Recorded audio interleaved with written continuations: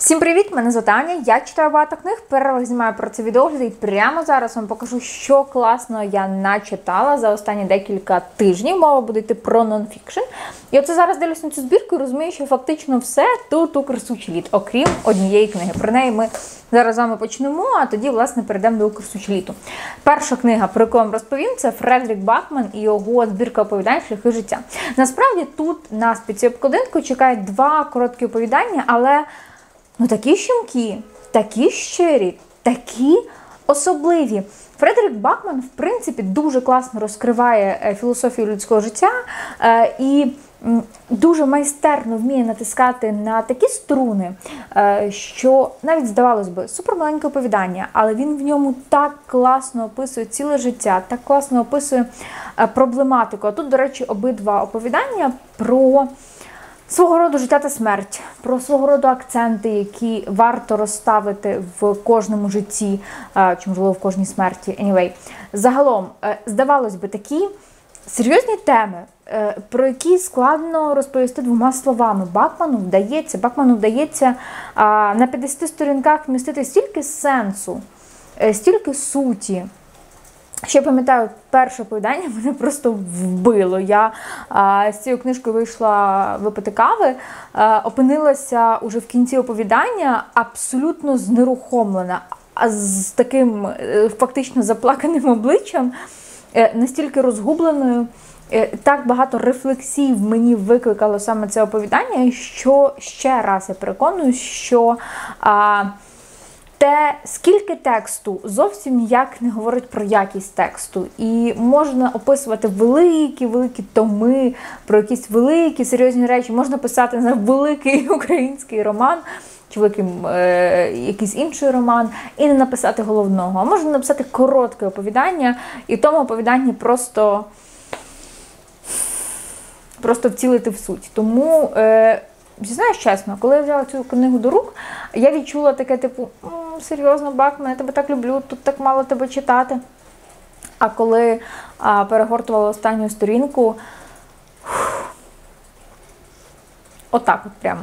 А, Тому однозначно, якщо ви любите Бакмана, щиро вам рекомендую. І знаєш чесно, у мене з Бакманом трошки сварка трапилась після ведмежого міста, бо я е, не зовсім. М полюбила той роман, я вже думала, що мабуть і все. Мабуть, на цьому ми закінчимо наші стосунки, тим не менш з'явили шляхи життя, і я знову е, просто закохана в цього автора по самісінькі вуха. А тепер е, ми закінчили з вами частину про неокурсучліт і можемо перейти до української сучасної літератури, бо таких книжок у мене тут егегей скільки.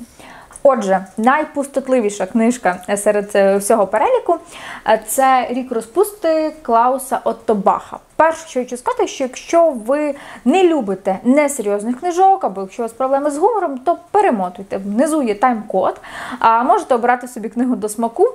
Всім решта, прошу залишитись, тому що книга дуже смішна, дуже дотепна, абсолютно несерйозна. Не шукайте в них сенсів, не намагайтеся знайти якісь, знаєте, а що хотів сказати автор? Автор нічого не хотів сказати. Автор хотів, щоб ви повеселилися, коментую, я так хочу думати. А, Тому що мова йде про такого собі Клауса. А, Здається, дядечко за 40, я можу помилятися, е, німець. Який має певні такі сексуальні фетиші, йому дуже подобаються шкарпетки, е, колготки, господи, чи якої шкарпетки, панчішки. О, йому подобаються панчішки. Та не суть насправді, суть в тому, що у нього фетиш. Панчішки. Е, ну і власне, е, його друг е, якось таким чином замав собі коханку українку, розповів цьому Клаусу про те, що українки це перфекта жінки. Ну і власне наш Клаус подумав, класна тема, буду шукати собі повелительку е, панчішок в Україні. А, От, власне, він приїжджає в Україну, там не буду спойлерити, суть в тому, що він приїжджає в Україну.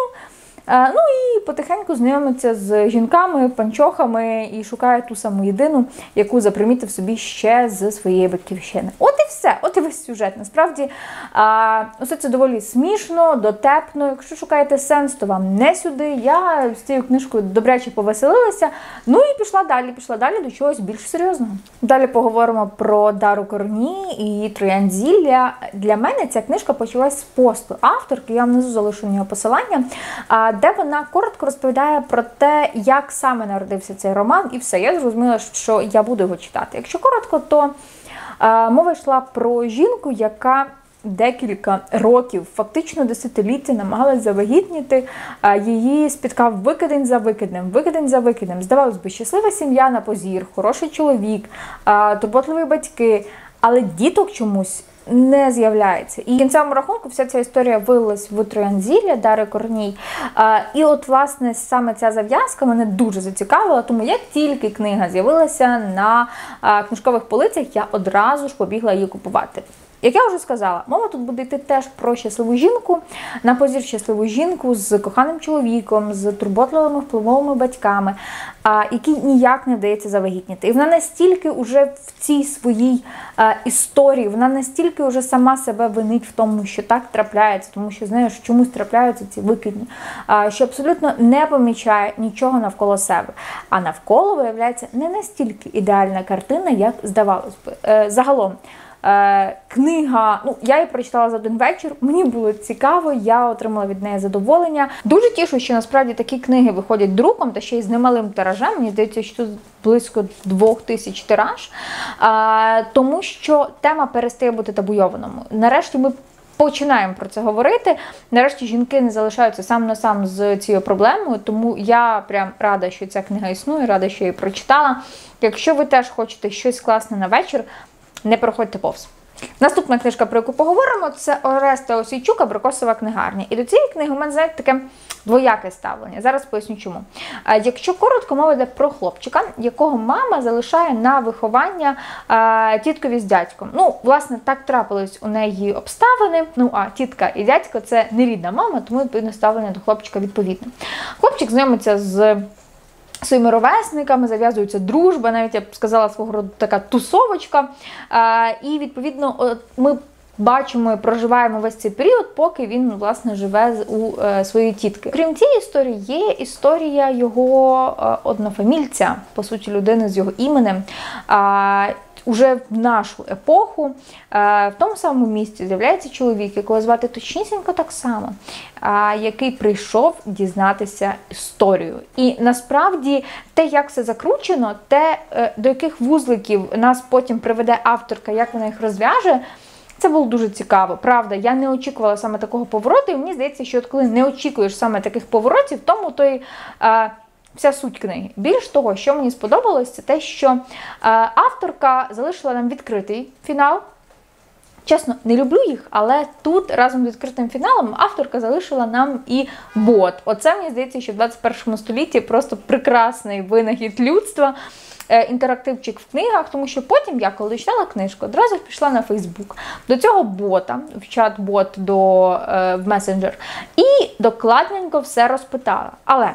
Тим не менш, фінал залишився для мене відкритим. Тим не менш, в мене залишилось декілька білих плям, які мене турбували, і я думала, можливо, я недобре прочитала щось. От, До прикладу, абрикосова книгарня, назва книги. Але Самої абрикосової книгарні було не так то вже багато, і мені хотілося трошки дізнатися, що з нею е, потім трапилось.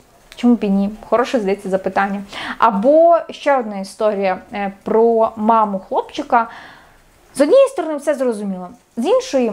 Була біла пляма. І я вже думала, можливо, я не дуже добре все прочитала. Не дуже добре прочитала книгу, щось опустила. Можливо, не добре прочитала ті всі листи, е, які потім уже в чат-боті були.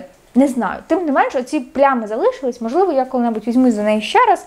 Е, можливо, я я ще думаю, в якому форматі, е, певно, себе в Телеграмі запущу якесь обговорення, де ми зможемо обсудити вже зі спойлерами і щось мені проясниться. Тим не менш, якщо коротко, якщо резюмувати, книга мені сподобалась. Відсотків на 80 я залишилась задоволена. Це така собі тверда четвірка, навіть з плюсом, можливо.